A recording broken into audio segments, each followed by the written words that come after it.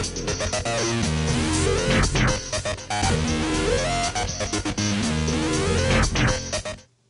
get started constructing our particle system. In this video, we're just going to be constructing the base particle system itself and adding our first emitter and changing just a few settings. Let's go ahead and get started. I'm going to right click here inside the content browser and choose new particle system and it'll ask for some information including the group and asset name. So let's give this a group of particles and name of PS fire.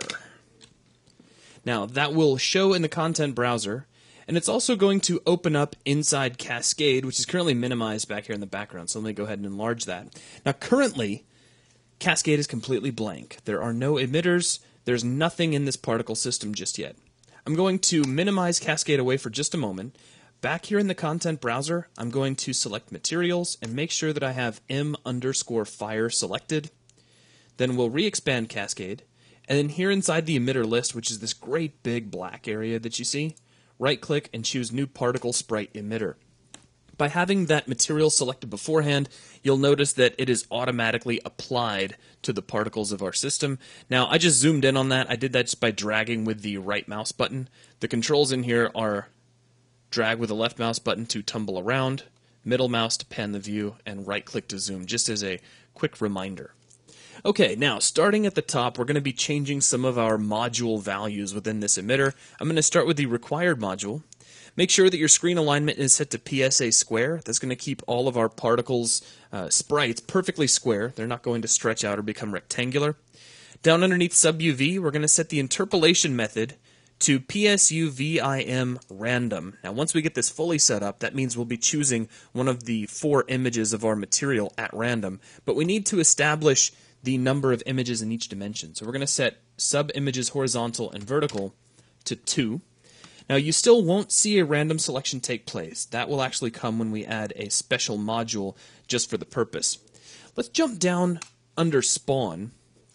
Now inside the properties for spawn I'm going to expand rate and underneath rate, you're going to see a distribution. Now, at this point, we haven't really talked about distributions, but that's okay. We're just going to kind of go with them for now. I just want you to take note of the word and notice that underneath it, here we're looking at a distribution float constant. And if I expand that, it's just a single constant value, which currently I'm going to set to 35.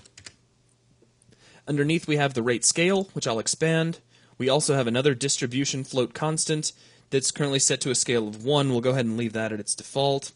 Now let's also set up the lifetime for these particles. So I'm going to jump down to the lifetime module in my emitter list. We'll expand lifetime, again the word distribution, this time a distribution float uniform. And this uniform gives us a min and a max value. So we can actually specify a random range. We're going to set these flames up to live between 0.375 seconds and 0.75 seconds. So now some of the little tiny flames live for longer than others. Now, what I'm going to do is go ahead and stop right here. I just want you to get to this point. So let's go ahead and close out of Unreal Cascade. And let's save our package. And that's going to wrap up this video. In the next video, I'm going to talk to you specifically about distributions now that you've seen a couple of them so that you have an idea of what distributions are and how they work, especially with Cascade.